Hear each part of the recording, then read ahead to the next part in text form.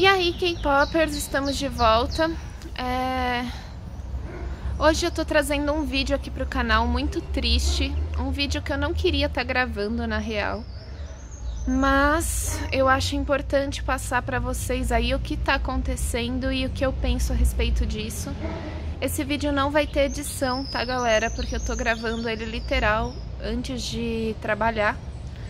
Então eu tô sendo bem é, sincera quanto o que eu estou sabendo da situação e quanto o que eu acho que aconteceu, o que eu cheguei a ler das notícias, tá? Uh, ah, Para começo de conversa, o, as empresas do X1 tiveram aí uma reunião e dessa reunião, aparentemente duas das empresas não concordaram é, com as condições que estavam impostas para o contrato do X1.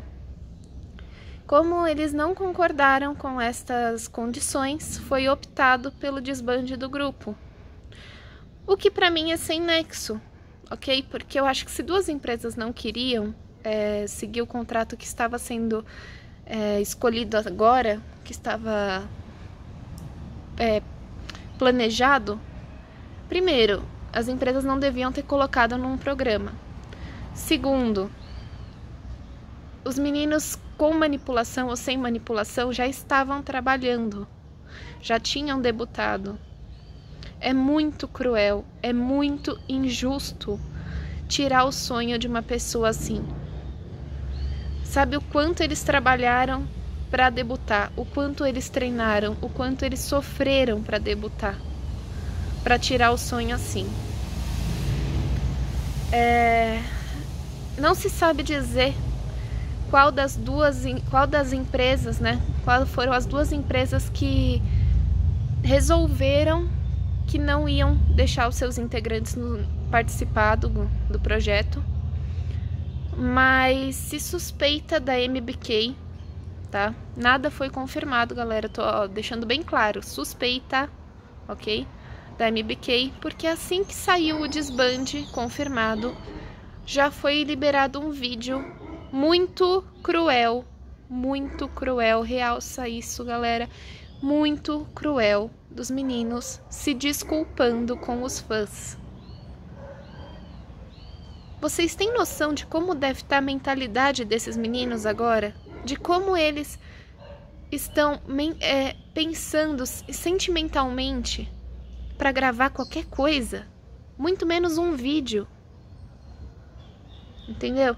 Então, assim, não foi confirmado que é a MBK uma das empresas, mas os fãs estão com grandes suspeitas porque eles já estavam com o negócio pronto ali, entendeu?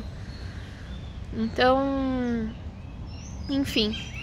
É, Suspeita-se também das empresas dos meninos que já tinham grupo, que seriam a Top Media e a Play M agora acho que é Play M, né? Antes era Play M, Play A, é, que é do Viction e do Uptation, mas também nada confirmado, não se sabe é, se são essas empresas ou não, até porque o Sungwoo mandou aí, colocou a voz dele no áudio do Viction durante o concerto deles, o primeiro concerto, e tipo, eles literal estão lidando bem com essa situação de eu volto pro Victor um dia, sabe?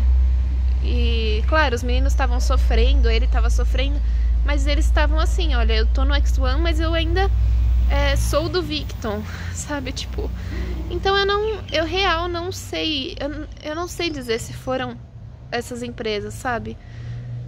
Mas a questão é, Infelizmente, eu não acho que tenha volta.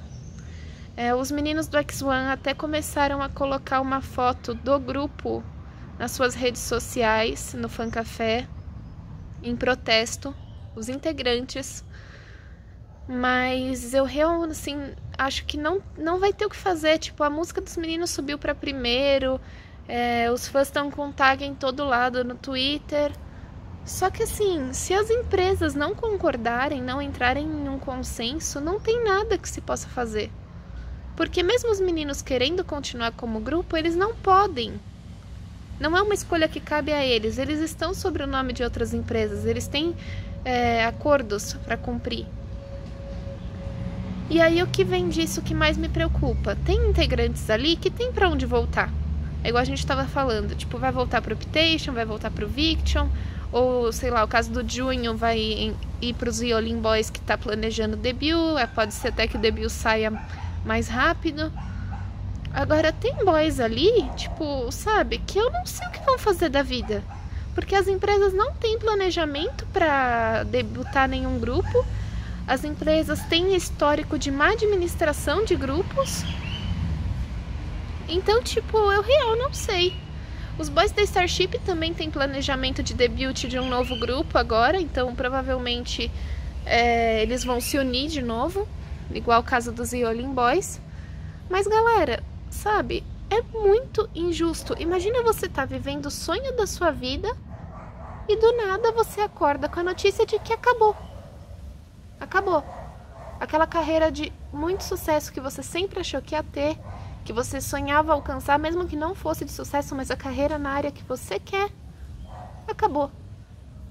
É desumano. É muito errado a forma como foi tratada. E uma coisa que eu também, é, que também saiu nas notícias que eu é, ouvi falar, não sei se está confirmado, é que a GPS aparentemente não participou dessa reunião. Porque aparentemente o Dom Pio descobriu é, a notícia do desbande nas, no, na, nas, nas, próprias notícias, né? A notícia do desbande nas notícias. Então imagina você pegar seu celular de manhã, abrir e dar de cara com a notícia do seu grupo desbandando. Imagina como é que tá a mente desse menino.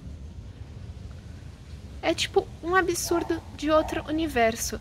Então, eu de verdade espero que os fãs tenham força e espero não ver piadinhas sobre a desbande do X1 por aí, porque galera, isso não é piada. Mesmo que você não goste do grupo, não é piada. Sabe? É muita maldade. É... Pessoas devem estar se perguntando em paralelo também sobre o Wise One. As meninas vão continuar como grupo e foi anunciado que elas vão retornar às atividades em breve. Aí vocês perguntam por que é, foi diferente com ambos grupos se ambos os grupos são do Produce. Foi diferente porque as meninas do X1 já tinham um contrato assinado que é mais difícil quebrar. Os meninos do X1 ainda não tinham assinado nada. Então, é muito triste, muito complicado.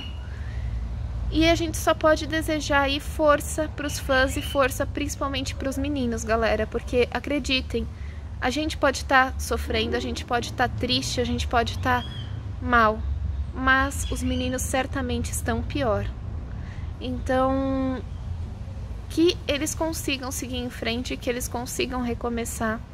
Que se algum milagre acontecer e esse desbande for evitado, maravilha, e se não for, que eles consigam seguir. Porque eu acho que eles nunca imaginaram que isso pudesse ocorrer.